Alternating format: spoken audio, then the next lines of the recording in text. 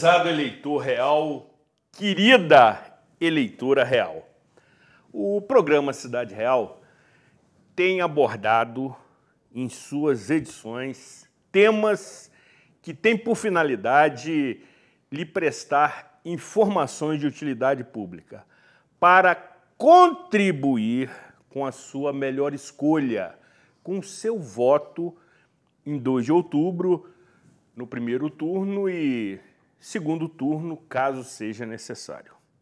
Portanto, temos esta missão de levar informação de qualidade, com referência confiável, informação que os veículos de comunicação, de forma geral, não abordam. Até porque precisamos entender que das nossas escolhas no próximo pleito eleitoral dependerá nossa rotina nos próximos quatro anos. Mesmo que você assim não entenda, mesmo que você esteja desacreditado do atual sistema político, que também concordo, me parece que este modelo está absolutamente falido e precisa ser revisto, mas é o que temos por enquanto. Da sua escolha dependerá, sobretudo, a possibilidade de termos novas perspectivas no que se refere à administração pública, quer seja no poder legislativo ou mesmo no executivo.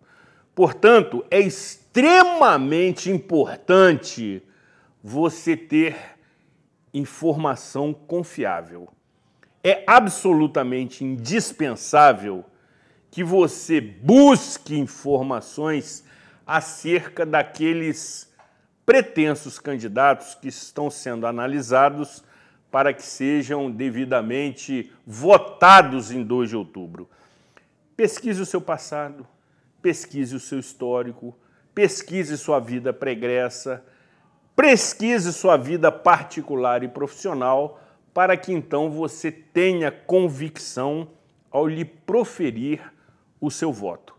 Até porque o prazo de arrependimento é relativamente longo, são quatro anos para você rever as suas escolhas para os mesmos cargos que estão sendo, evidentemente, agora renovados em 2 de outubro. Desta forma, me parece que é absolutamente indispensável você acompanhar programas como esta edição, que lhe oferece, sobretudo, o contraditório, que lhe oferece a opinião que incomoda, mas é saudável, para que você possa refletir avaliar e analisar todo o contexto e todo o cenário político eleitoral. E nesta edição teremos a oportunidade de conversar com uma ilustre convidada que tem se notabilizado em todas as edições do programa Cidade Real pela sua competência, pela sua seriedade, pela sua responsabilidade pela sua ousadia, pela sua coragem, emolduradas pela sua encantadora beleza. Certamente você já sabe de quem se trata quando aqui sempre nos oferece a sua opinião, que também é a opinião do programa Cidade Real. Tem a chancela da editoria do programa Cidade Real. E desta feita, o faremos durante uma hora, lhe provocando, lhe desafiando, lhe contestando, porque assim entendemos que podemos aprimorar o processo democrático. Assista atentamente. Com a proteção de Deus, de Santa Rita, de Nossa Senhora Aparecida, Santa Protetora da ilustre convidada, Sejam todos muito bem-vindos na edição de número 760 do programa Cidade Real, que conta com indispensável apoio técnico de Lídia Dias, nossa eficiente assistente, acompanhada por Charles Torres, Rafael Teixeira e sob a coordenação impecável de Marconi Júnior. Diretamente do estúdio Rafael Jacu, neste dia 19 de setembro de 2022.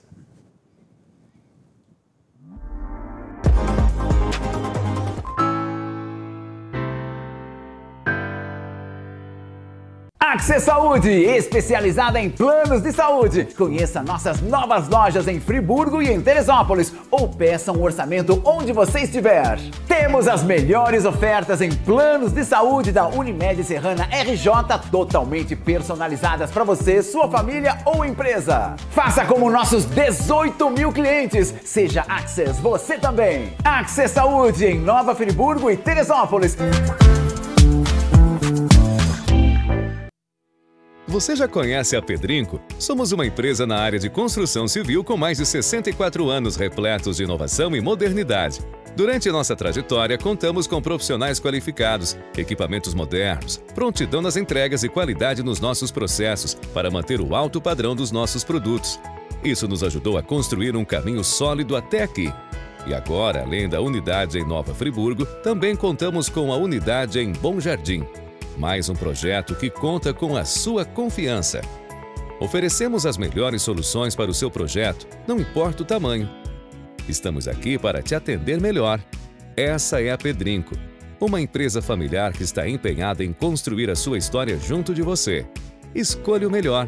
Escolha Pedrinco.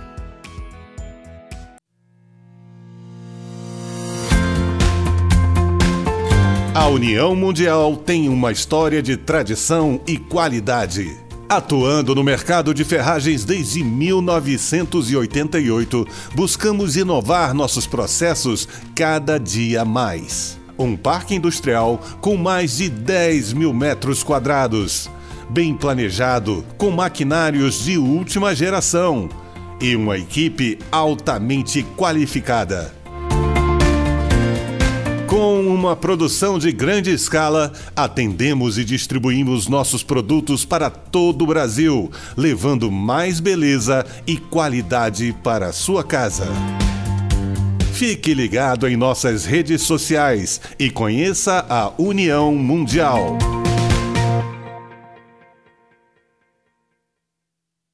Sua frota ou seu veículo rastreado em qualquer lugar com tecnologia Sistal. Tudo em tempo real com diversos controles e relatórios. Exclusivo atendimento local 24 horas. Sistal, tecnologia em segurança para sua empresa, casa e veículo.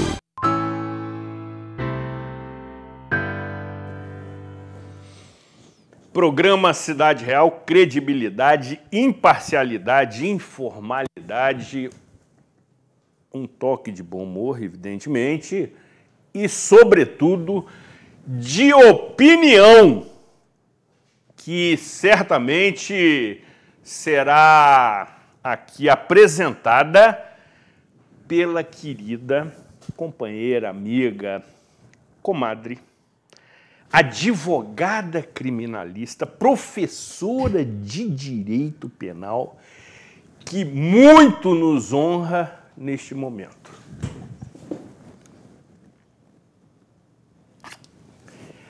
A direção da TV Zoom e a produção do nosso programa sentem-se honradas com a sua presença. Seja muito bem-vinda. A honra é toda minha.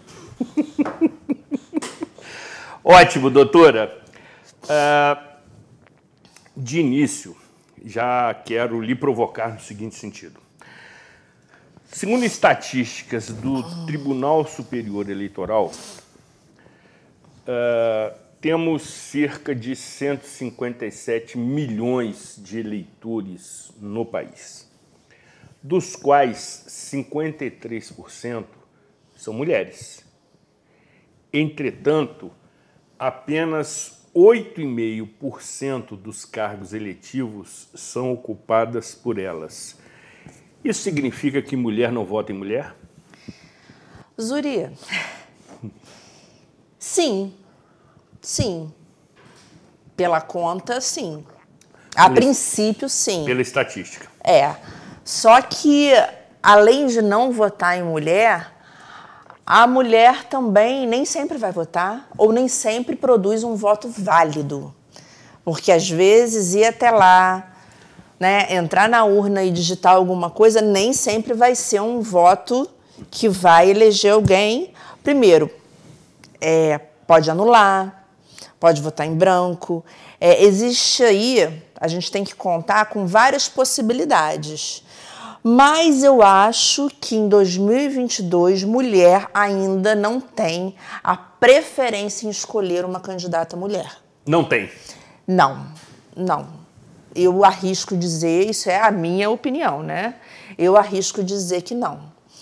Eu não sei se é uma questão também ainda muito enraizada, né? Que a gente está buscando paulatinamente desconstruir, né? talvez ela se sinta mais representada por algum homem, ou pode ser também que o número de candidatas mulheres também ainda se apresente de forma é, assim, eu acho que insuficiente. Insuficiente, pode ser, pode ser. Não digo agora nessa eleição de 2022 que a gente tem visto muitas mulheres concorrerem, né? Muitas mulheres estão concorrendo para deputada, deputada estadual, deputada federal, senadora, presidente da República.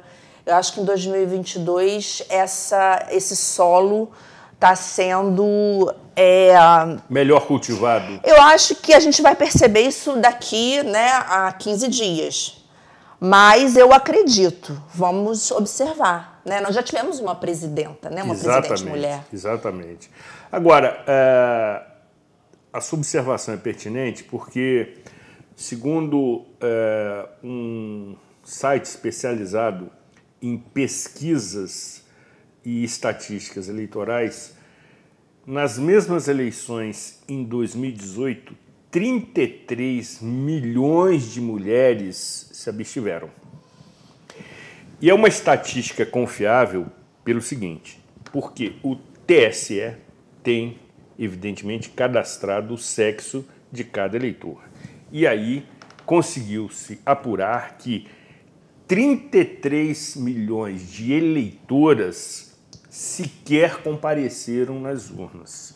E você citou um aspecto que precisamos ouvi-la no que se refere ao voto branco e nulo. Antes de responder, Sim. É, eu preciso também fechar o raciocínio. O que eu acho que, de fato, de acordo com um estudo recente aí, que eu fiz uma professora de Direito Constitucional, junto com alguns institutos de pesquisa, que eu não vou ficar citando aqui, mas o que define é a ida do eleitor até a cabine no dia da eleição e a produzir, a saber votar. Saber votar, eu digo um voto válido, né? Saber votar mesmo. É, o mecanismo, né? Saber escolher a gente vai falar também. Mas é, é o grau de escolaridade. Quanto mais estudo, mais mais gente votando. Quanto menos estudo, menos gente votando. Então, a vida da mulher já é uma vida mais difícil. Porque qualquer problema que dê em casa, sempre é sacrificada é a mulher, né? Quem deixa, às vezes, de fazer uma faculdade é a mulher, quem deixa de algum evento, por mais importante que seja, porque um filho está doente, é a mulher, não é, Zuri? É a mãe. É a mãe. É, quem se sacrifica em, todos, em todas as esferas, em todos os segmentos, é a mulher. A mulher é mais sobrecarregada, ela é mais responsabilizada e ela tem sempre a responsabilidade da casa ou dos filhos. Então eu acho que isso também dificulta a vida da mulher, né? Nessa nesse universo que a gente vive, né, atualmente.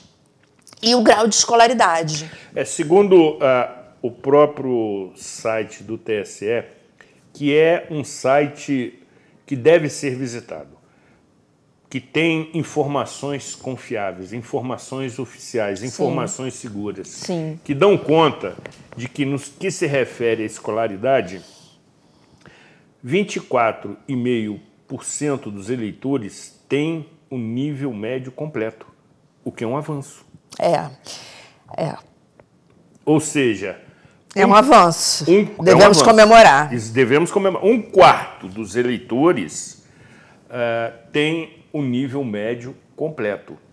E segundo o mesmo site, este percentual vem evoluindo ao longo dos anos. Como, por exemplo, ah, os eleitores que eh, caracterizam a maior faixa etária estão entre 24 e 49 anos perfazendo eh, a maioria dos eleitores nessa idade. Daí a necessidade das campanhas que a gente pôde observar nos últimos meses, da tanto o TSE, todo mundo falando muito nas redes sociais para que os eleitores, né, os debutantes, né, providenciassem o documento e incentivando os jovens, eu acho que são os maiores interessados, né, já que uma criança ainda não vota e tal, eles que estão decidindo, que deverão decidir o seu futuro mais imediato, pelo menos uns quatro anos. Então, eu acho que essa importância do voto, do primeiro voto, do voto né, da galera, do pessoal lá, né, de 16 até 24, é o que vai decidir a eleição, ou pelo menos vai contribuir para a gente ter uma nova pesquisa daqui a pouco e falar ali quem é que mais votou, se foi mulher, se foi homem. Exatamente. Né? Agora, ah, retomando ah, a questão da- do, do voto branco, Branco e nulo. Pois é, Zuri, é, esse é um tema importante porque durante muito tempo a gente ouviu falar nos grupos de WhatsApp, nas historinhas, né, nas mentiras ou fake news, quem prefere a- o título em inglês.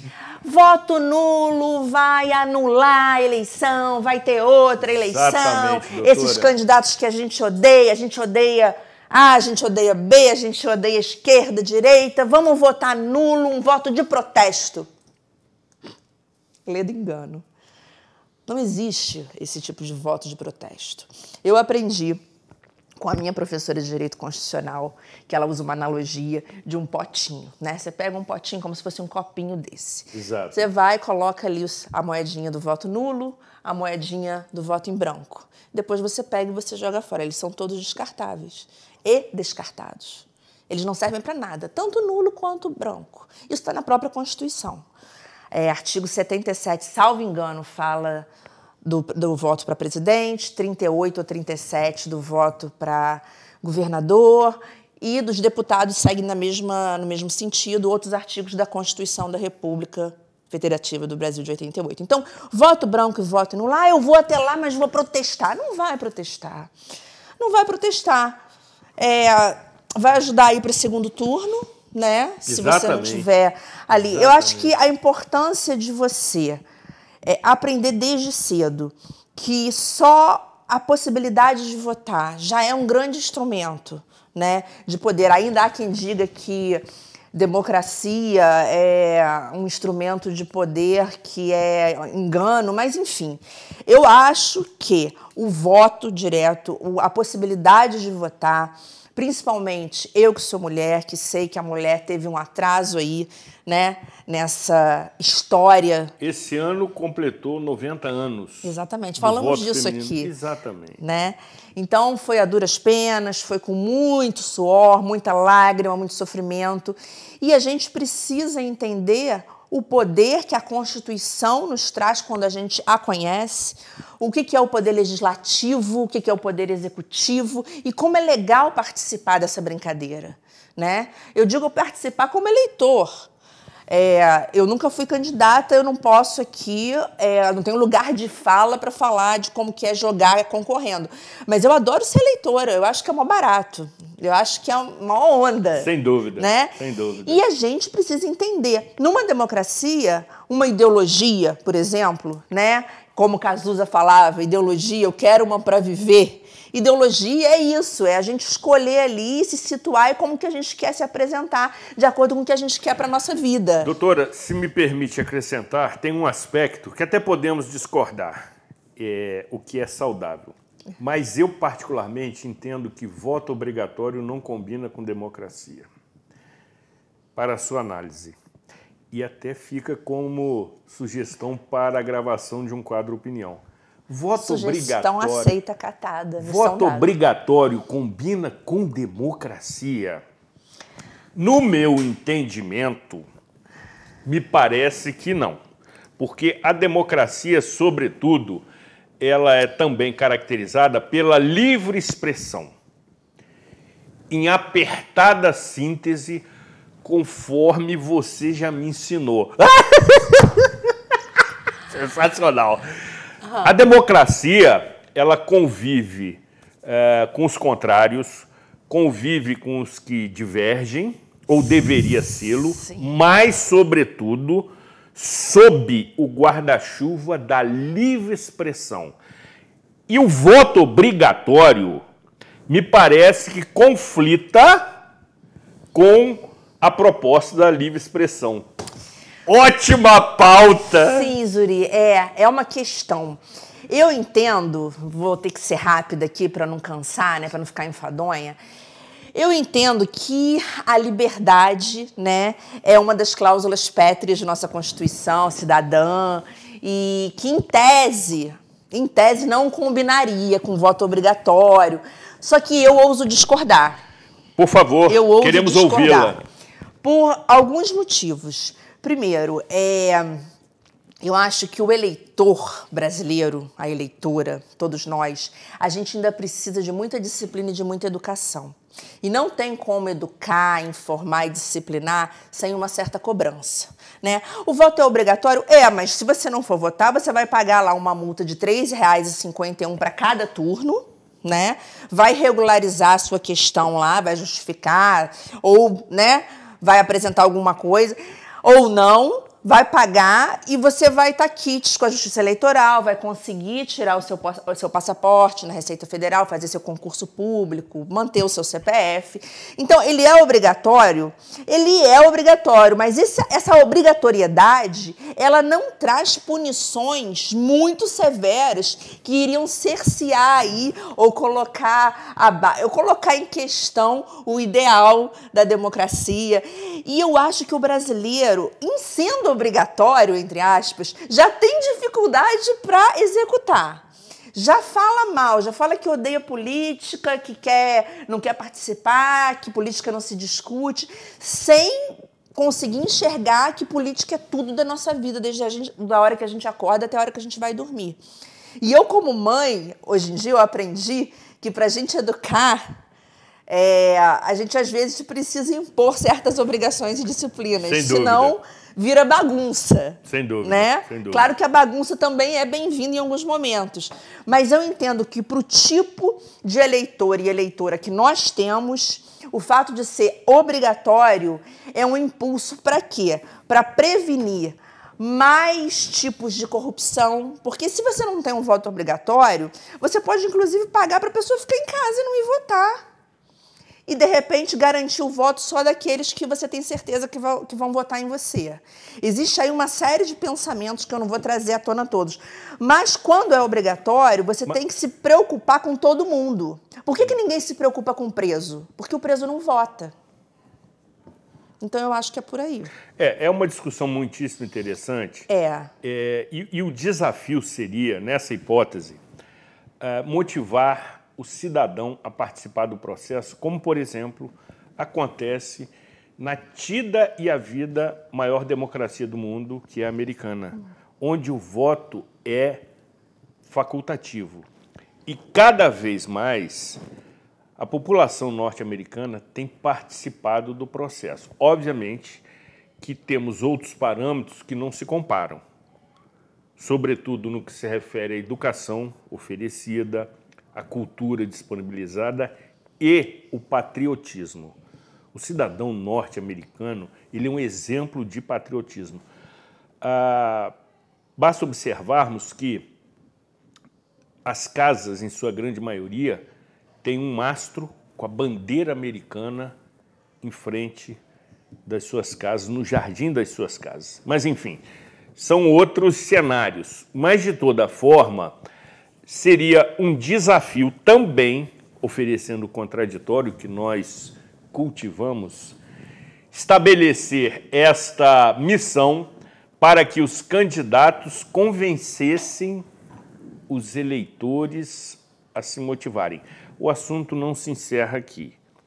Nós apenas, nesse diálogo, doutora Aline, que possui uma inteligência fantástica, ah, desafiamos quem nos assiste. Simples assim. Eu tenho certeza que agora muitos é. estão em casa. É muito bom discordar. Debatendo, né? exatamente, Com doutora. Palavra, é maior tesão discordar. Boa, boa, doutora. É isso que a gente precisa entender. A gente não tem que se matar, que discordar. Eu acho muito gostoso. Só que a gente tem que discordar, como as pessoas aí estão se matando, né, por causa de é, lado político ou por causa de paixão por candidato, né? O que é o ó, que a gente não tem que ter paixão, não por candidatos, assim, no, não no que, no que tá, diz respeito à urna, né? Mas mitos, paixões, é. matar por candidatos, Doutor, né, Zuri? Doutora, Sem brincadeiras, se... né? É, é complicado. Se, se me permite, doutora. Mas tem candidatos que despertam paixões. Quase todos, né? Quase todos. Quase todos, porque política se confunde com uma coisa que é Emocional. essa tensão, é. Nós somos do mesmo time, a gente vai votar no mesmo, a gente se identifica, aquela coisa de se, se encontrar no outro, e aí fica fácil o discurso, não precisa se esforçar, né? Porque discordar requer um respeito e um sem esforço dúvida. e algum tipo de entendimento do que se vai falar. Sem dúvida. Né? Sem Mas dúvida. eu acho que concordar é chato né? É, eu acho. Monótono. Mas voltando, um ministro que eu admiro muito, que foi meu professor, que é o ministro Barroso, ele inclusive fala sobre o voto e ele publicou, eu acho que foi um artigo e tem um, algum programa que ele fala disso, que ele não acha que o Brasil deva continuar nesse sistema de voto obrigatório, né? Mas eu, eu já li esse artigo. Já. Já. Eu, eu considero importante até para a nossa educação. Mas é um debate que a gente pode ter aí, vai ser um prazer. É, precisamos debater e aprofundar esse tema, é. porque existem, uh, vamos dizer assim, uh, o contraditório, existem as opiniões contrárias. Certamente imagino que os senhores candidatos preferem o voto obrigatório. É, a gente, quando a gente está falando de paixão, a gente fala, ah, tudo que é obrigado, tudo que é proibido, né? O que é obrigado a gente não quer, o que é proibido é mais gostoso. Então, é, também é aí uma terceira opinião com relação Isso, ao voto obrigatório. Exatamente, exatamente. Eu ainda voto na obrigatoriedade, mesmo que com 3,51 a gente esteja absolvido. Não, eu, né? eu também, é, é, da mesma forma, sempre votei sem me sentir obrigado. Eu também, eu também. Exerço um direito. Mais é. do que um dever, exerço é. um direito. É. Né? É, que a cada dois anos temos a possibilidade de nos manifestarmos. Agora, é, doutora, já concluindo esse bloco, me parece que neste cenário de discórdia, de radicalismo, o eleitor ou a eleitora é, conclui pela exclusão, ou seja, vota para excluir, mas não vota para escolher. Então, Zuri, é isso. É disso que eu estou falando. A gente tem que tentar fazer a diferença e analisar. Não é só porque você não gosta né, dos candidatos que apontam nas pesquisas que você vai anular o seu voto ou votar. Se você, eu acho assim, eu penso assim, eu falo isso para os meus alunos, se você acredita muito, tem como ideologia, ou tem. Você acredita muito num candidato que está lá na pesquisa com 1%, com 5%, com 7%, eu acho que é legal você votar na sua convicção. É, eu já vou concluir. Conclua apesar de sabermos que no Brasil é, isso vai levar provavelmente para um segundo turno, e no segundo turno a escolha pode ser entre dois que você não suporta. Bipolar. Né? Exatamente. Pode ser entre dois candidatos que você não suporta. Exatamente. E aí você vai ter que escolher. E Uou. escolha. Escolha. Escolha. Escolha. Né? Exato. Agora, é, dá trabalho escolher. Dá trabalho. Porque se você não tem uma identificação muito atroz, você precisa ali, bom. E outra coisa, é, eu não quero, assim, de, é, desconstruir a veracidade das pesquisas. Mas em Friburgo, mesmo o prefeito que foi eleito nas últimas eleições, ele não apontava como preferido, ele estava bem, momento, bem lá embaixo nas pesquisas. Exatamente. Né? Então a gente tem também que votar de acordo com que aquilo que a gente acredita ou gosta, ou então é, eu não quero esse de jeito nenhum. Então eu tenho que pensar qual é a forma de eleger esse outro aqui. E é o que nós trataríamos a seguir, é, sobretudo pela sua afirmação que é muitíssimo interessante, que a escolha é trabalhosa. É. Precisamos ouvi-la atentamente. Muito bem, depois dos nossos reclames comerciais, retornaremos conversando com a querida doutora Aline Freitas Spinelli, que é autora intelectual do quadro Opinião, que aqui comparece no programa Cidade Real pela 12 vez, segundo Data Real, que é o banco de dados do programa Cidade Real, estando entre o top 3 daqueles que mais frequentaram este estúdio, lhe oferecendo contraditório, que é sensacional lhe desafiar, lhe provocar. E necessariamente você não precisa concordar com a doutora Aline ou mesmo comigo. Você pode ter e deve ter a sua opinião. Mas a tenha. Ter opinião é absolutamente necessário para o processo democrático. Depois do intervalo, retornaremos com esta conversa absolutamente sensacional. Não saia daqui, afaste-se da tela do seu celular. Doutor. Estamos juntos é muito mais que só uma frase para Stan. Representa a nossa dedicação em criar produtos pensando no que mais importa. Você e sua família. São fechaduras, puxadores, cadeados e outros itens que estão no balcão de sua loja, no seu dia a dia e até nas suas horas de lazer. Por isso, tenha uma só certeza: em todos os seus momentos, tem que ser Stan. Access Saúde, especializada em planos de saúde. Conheça nossas novas lojas em Friburgo e em Teresópolis ou peça um orçamento onde você estiver. Temos as melhores ofertas em planos de saúde da Unimed Serrana RJ, totalmente personalizadas para você, sua família ou empresa. Faça como nossos 18 mil clientes. Seja Access você também. Access Saúde em Nova Friburgo e Teresópolis. Tempos tão confusos, nem sempre conseguimos enxergar as coisas boas que continuam acontecendo à nossa volta. O Marcos e a Paula foram morar juntos no apartamento que eles compraram. A dona Ana se aposentou e trocou a vida da cidade grande pela tranquilidade da serra. Está amando morar pertinho de tudo. A Alice e a Júlia viraram sócias e estão montando um escritório lindo no Vila Boulevard. Apesar de tudo, sonhos continuam existindo.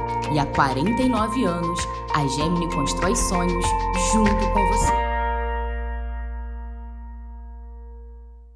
Você que é MEI, microempreendedor individual, já deu o primeiro passo para sua independência. Agora, a Cianf quer te ajudar a crescer.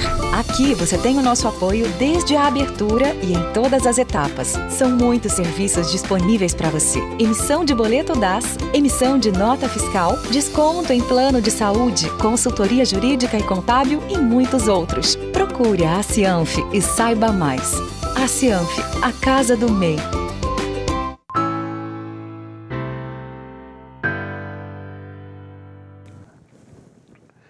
Programa Cidade Real, credibilidade, imparcialidade, informalidade, um toque de bom humor, de contraditório, de divergência, de opinião e de atenção. Comemoração. Você observou que desde o início do programa, esta deliciosa torta de maracujá está sobre a mesa. Uma vez que assim me foi presenteada pela querida Aline Freitas Spinelli para, assim, ilustrar essa bancada, celebrando o meu aniversário. Sensacional! Ocorrido no último sábado, também conhecido como 17 de setembro. Doutora Aline, sempre muito cordial, muito gentil, carinhosa e atenciosa comigo, assim nos ofereceu esta belíssima torta que poderá ser dividida entre os integrantes da equipe técnica. E da mesma forma, também quero agradecer a cordialidade e o carinho do Nova Friburgo Futebol Clube, que em recente sessão solene na Câmara Municipal, celebrando os seus 43 anos de existência, embora fundado em 26 de abril de 1914, me concedeu este título de sócio honorário, sobretudo reconhecendo o carinho, a dedicação e a generosidade da família Alvarez, quando assim cedeu toda aquela área onde se encontra a sede social do Nova Friburgo Futebol Clube, localizada no sexto distrito de Conselheiro Paulino. Portanto, quero novamente agradecer e reiterar a minha gratidão, que é o mais nobre dos sentimentos, pela honraria recebida naquele momento solene na Câmara Municipal junto com outras autoridades, outros homenageados, celebrando esta marcante data para o Nova Friburgo Futebol Clube, especialmente para mim, na véspera do meu aniversário. Sem dúvida, momento de emoção e de gratidão que foi registrada nesta ocasião por Noé Egdorne Tardem, nosso eterno cameraman que aqui compareceu gentilmente, rapidamente, para desfilar, vejam a linguagem corporal, desfilar o seu talento no programa Cidade Real, mesmo estando com um volume craniano, também conhecido como cabeça inchada, dilatada por motivos óbvios, mas vou poupá-lo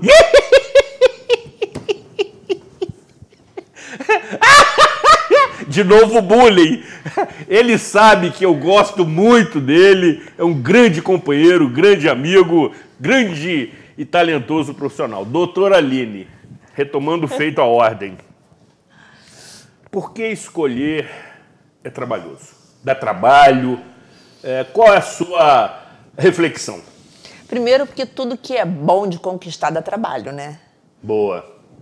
Tudo que vem fácil vai fácil. Boa, doutora. E eh, eu acho que o processo de escolha é um processo de construção, de análise crítica, de aprendizado.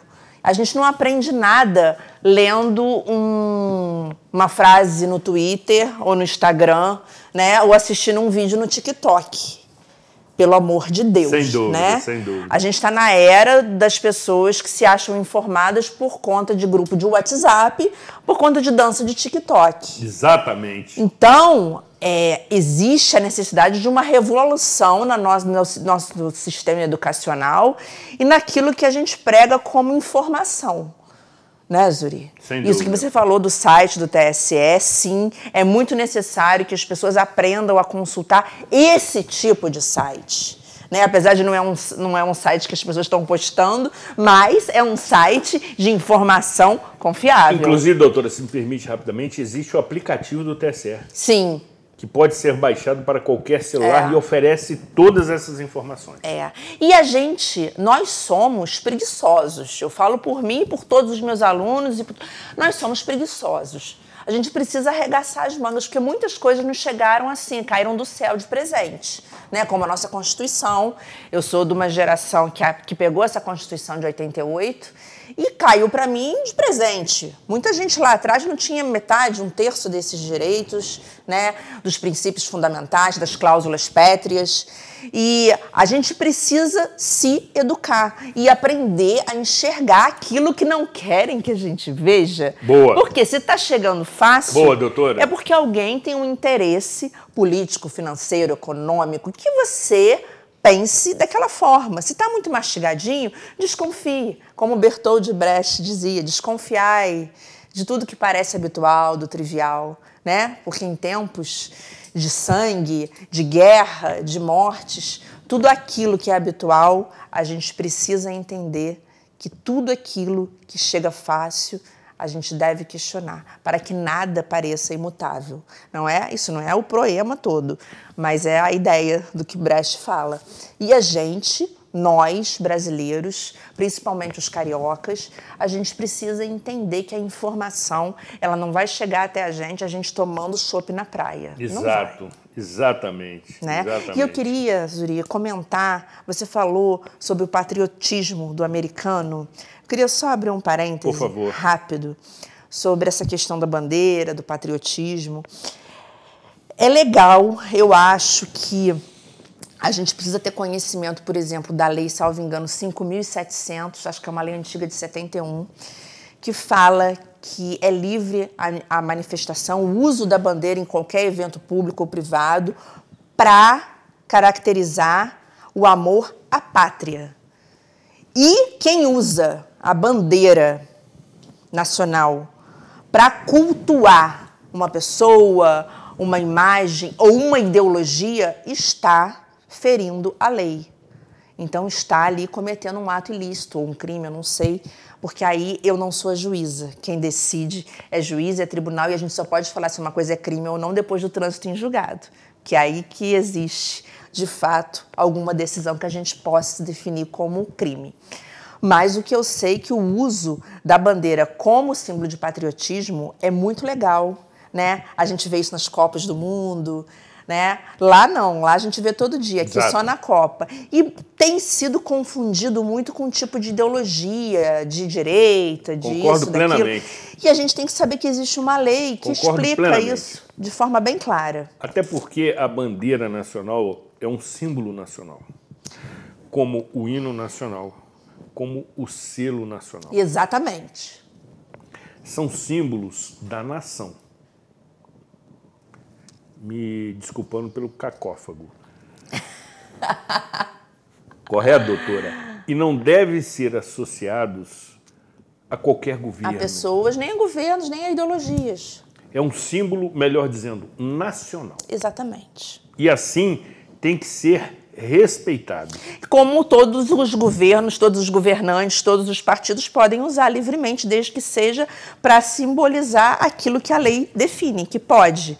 Qualquer outra eh, manifestação ou uso indevido, né, em qualquer evento, é passível de punição. Pode não ser agora esse ano, mas quem sabe ano que vem. Pois é. Outra pergunta que não quer se calar, além da última que lhe farei, é, o eleitor, de forma geral, não tem memória? Não. Já tratamos desta questão Já. num capítulo do quadro Opinião É, Pública. não, não tem. Mas queremos ouvi-la novamente. Não tem. Não tem. Não, não tem. Falta de interesse? É, Porque não basta votar, tem que fiscalizar.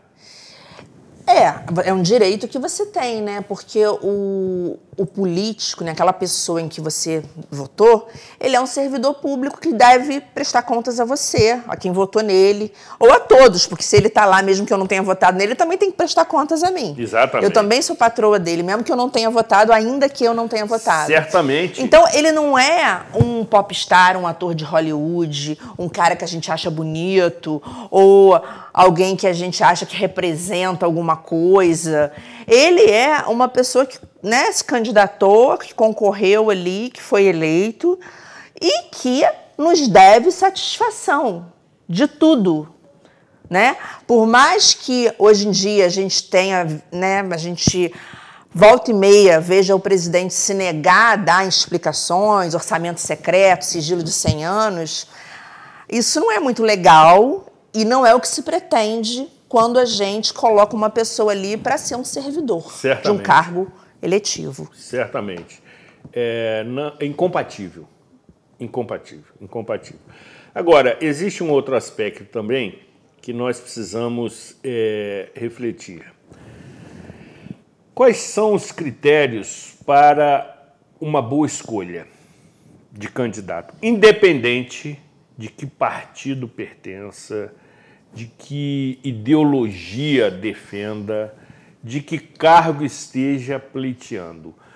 Quais são aqueles critérios, doutora, que, por exemplo, você utiliza para escolher os seus candidatos? Olha, nessa eleição de 2022 eu já escolhi todos os meus candidatos. Já fez a escolha de todos? Já, só falta fazer a colinha. Parabéns, já decorei. hein? É, já decorei, não vou precisar de cola. É, eu utilizei um critério altamente pessoal, personalizado. Sim. Como mãe, né? Isso mudou tudo. Mudou tudo, porque hoje eu busco alguém que tenha um discurso coerente, que olhe para a mulher e que olhe para a mãe. Então, eu tô falando de mim.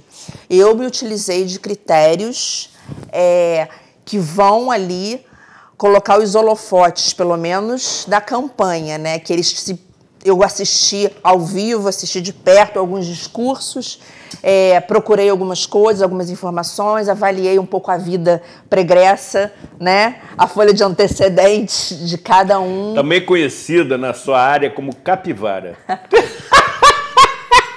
Mas não é a capivara penal, não só a penal. Exatamente. Eu quis saber a história toda, Sim. né? Porque também eu tenho curiosidade, é a minha revista Caras, né? Boa, boa. E eu, mas eu me utilizei desse critério. Quem é que está falando na mãe? Quem é que está ali com um discurso sério que tenha como me provar que fez, que já fez e que vai continuar fazendo? Para uma mãe que está fazendo uma faculdade, ou um mestrado, um doutorado, alguma bolsa creche. É, pensei muito em como essas pessoas que eu quero votar pensam sobre ciência, sobre saúde, sobre vacina, porque eu sou mãe. Como que essas pessoas pensam para questões básicas existenciais, porque ainda que eu, graças a- aos meus pais e a Deus, eu não tenha ainda passado fome, eu penso em quem passa fome, mas quem que possibilita também para que nós, no futuro, meu filho tenha mais acesso à educação se eu não tiver dinheiro para pagar uma escola, porque eu acho que é a educação que faz com que uma pessoa seja realmente livre, feliz, completa. Né? A pessoa que não tem educação, que não tem conhecimento, ela pode até ter condições, mas vai ser um mimado, então não vai ser feliz e vai ser certamente vítima de alguém que não teve, né? que passa fome. Então eu busquei mais ou menos por aí. É claro que às vezes a gente se depara com um candidato que a gente adora o discurso, enxerga a verdade nos olhos dele, se identifica, me toca ao miocárdio e também é lindo, também acontece. Tudo de bom. Não tinha umas mulheres que votavam no colo? Exatamente. Né? Minha mãe votou no colo por causa disso. Só uma brincadeira, gente, só uma brincadeira. Sensacional. E é claro, se eu tiver chance de votar numa mulher que é mãe e que sabe o que, que uma mãe passou na pandemia, eu vou escolher essa mulher. Mas o voto é Ótimo secreto. critério, doutora. É por aí. Ótimo critério. É por aí. até porque você também já nos ensinou certa vez que esteve aqui que é, na relação familiar o pai vai, mas a mãe fica. A mãe fica. E o candidato que me prova isso, ele ganha o meu voto e de todas as pessoas que eu posso influenciar. Porque é importante a gente influenciar quem está perto da gente. Né? Sem dúvida que é fundamental É. essa, essa influência, é, porque forma opinião. né? Por vezes, me dá a sensação que o eleitor, de forma geral, é, por vários motivos, é, por desconhecimento, por desânimo, por revolta e até às vezes mesmo por preguiça, conforme disse a doutora Aline, não busca informações, não afina os seus critérios. É importantíssimo você ter convicção na sua escolha para que seu voto seja racional. Você tem que privilegiar os interesses coletivos em detrimento de interesses individuais. Existem candidatos que estão preocupados com a sua permanência na estrutura da administração pública, que é muito sedutora, mas não defendem, não apresentam um plano de governo que é diferente de um plano de poder. Doutora Aline, é... Fazendo um parêntese. Por favor, queremos ouvi-la. Uma mestra do direito processual penal, menos emoção, mais razão. Né? Excelente, doutora, excelente afirmação. É, já começamos a caminhar para a reta final, mas temos tempo ainda para analisar o seguinte aspecto. No que se refere às redes sociais, uhum. que têm cada vez mais sido utilizada pelos candidatos, cada vez mais tem sido um instrumento de potencialização de candidaturas, até porque também a legislação eleitoral, embora vigilante, ainda permita um certo trânsito livre nas redes sociais. Agora, o eleitor, de forma geral, está se deixando convencer, por vezes, pelo que é divulgado em redes sociais. Você já abordou essa questão num determinado capítulo do quadro Opinião, em que você contextualizava que, por vezes, uma postagem tem por finalidade única e exclusiva conquistar likes. Ou vender um produto, ou vender um serviço, né? Arrasta para cima e ganha um milhão e por aí vai, né? Se você é, é a rede social, né, tudo, todos esses instrumentos são instrumentos acessíveis porque qualquer um, né, qualquer um que tem um mínimo sinal de internet ali ou Wi-Fi vai ter chance de visualizar. Só que é, teve uma opinião que eu fiz que eu quero falar de novo, de novo, de novo é essa opinião que você manifesta. Essa opinião é realmente sua? Boa, doutora, boa. E boa. aí começa uma conversa, um debate muito saudável para a gente abrir os olhos. Será que isso que você está falando foi você mesmo que falou? A gente gosta de repetir o discurso dos nossos mestres. Eu tive um mestre na faculdade que eu gravava as aulas dele, ficava ouvindo, ouvindo, ouvindo, ouvindo. Gostava de ouvir a voz, a entonação. E era assim maravilhoso. Mas eu sempre tive análise crítica e às vezes discordava de alguma coisa. Quem sou eu para discordar com um mestre né, da faculdade? Mas eu gostava de repetir o que ele falava, porque eu me sentia inteligente, já que ele já tinha assinado embaixo. Só que hoje em dia, com a internet, com o Instagram, aquilo que estão vendendo ali geralmente tem algum interesse. E essa opinião que você está brigando, que você está demonstrando, na maior parte das vezes não é a opinião daquele eleitor, daquele telespectador, daquele é, curtidor, né? daquele internauta. compartilhador, é daquele internauta que está ali, ou daquele hater. Exatamente. Então aí tem os Exatamente. crimes, né, de ódio, aí tem, entra naquela outra esfera de responsabilização, de ofensas na, nas redes sociais. Mas é, ficar ali xingando ou repetindo alguma frase de efeito pode te dar uma sensação gostosa naquele minutinho, né? Tipo a sensação assim de um drogado. Só que vai passar rápido e não vai trazer diferença nenhuma para o futuro nem para o seu presente. E pode ainda te trazer um processinho se você estiver sendo só massa de manobra para fazer valer o desejo daquele que postou que não quer se queimar que não quer executar a ação, mas quer que alguém execute, vai fazer cumprir o que ele deseja e ele vai ficar inerte. Para usar um, um, termo que tem sido talvez aquele mais é, pronunciado há dois anos, qual é a vacina contra fake news? Primeiro é se segurar e não sair compartilhando. Conter o ímpeto. É, é. Primeira coisa, né? Primeiro você sonda. Ah, a informação fala de quê? De política, de saúde? Então vamos lá, sei lá, vamos ver no site do tribunal, do TSE, vamos entrar no site do TJ, vamos procurar ali um jornal para ler, aí depois ler outro. Ou se está falando de vacina, vamos ver o que a Fiocruz está falando, né? E por aí vai. Eu acho que você tem que buscar fontes que já estejam aí há muitos anos, que são fontes que não é do governo A nem B e que estão aí há décadas. E aí começar a usar um pouquinho da nossa, do nosso cérebro. E aí sim compartilhar. Porque a tendência é você responder processos se você ficar compartilhando fake news. A legislação prevê. Já prevê. Esse já tipo prevê. de penalidade. É.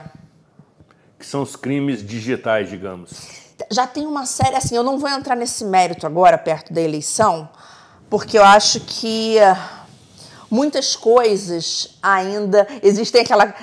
aquela um, um ditado, essa lei não pegou ainda, né? Mas tem legislação que pune tudo isso.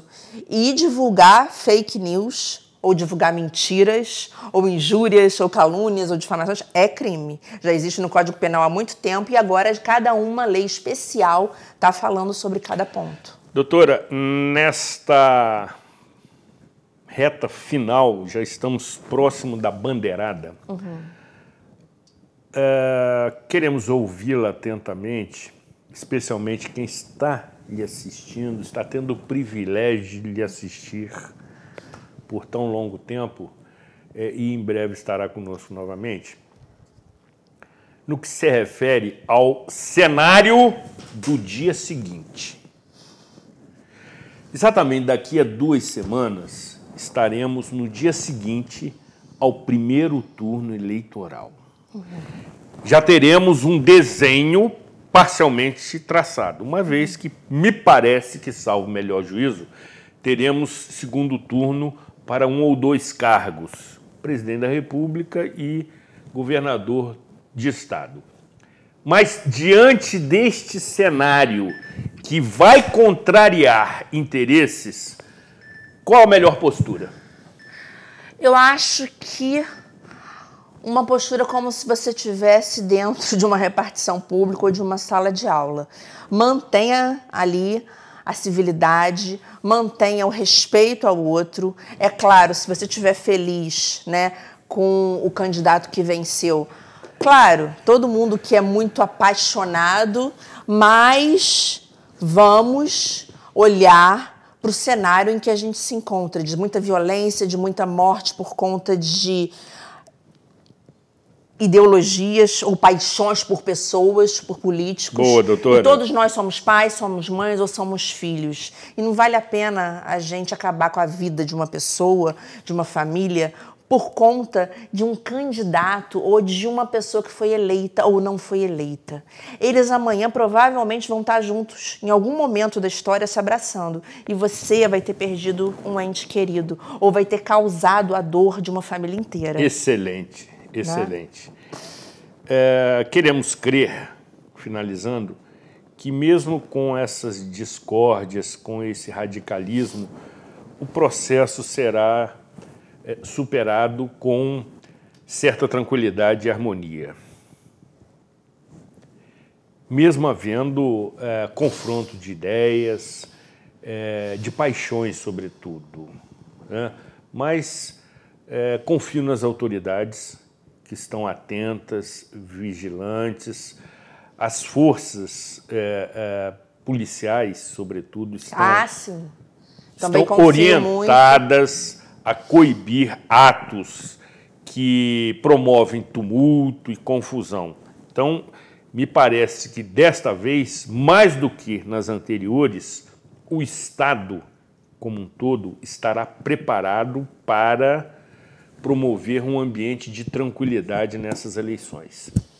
Tomara, Deus te ouça. Eu tenho muitas preocupações nesse sentido, muitas mesmo. É, precisamos encerrar, doutora. Ai, que dor. Eu quero, neste encerramento, é, novamente agradecer a sua delicadeza em me oferecer este delicioso bolo de maracujá pelo meu aniversário, é, demonstrando aí o carinho mútuo e a nossa fraternal amizade que nos une sempre. Sim. Juntamente sim. com o pequeno Ravi. Essa força inabalável, poética da amizade, né, é o que faz a vida valer a pena. Não tem preço. Né?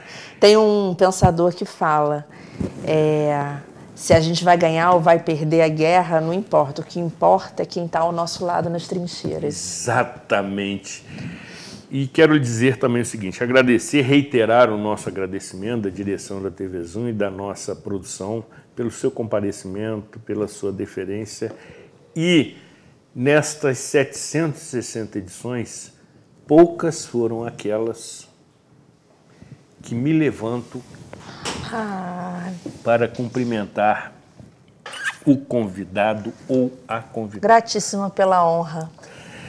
Você merece. Você é do bem. Você é comprometida. Hum. E mãe extremamente zelosa.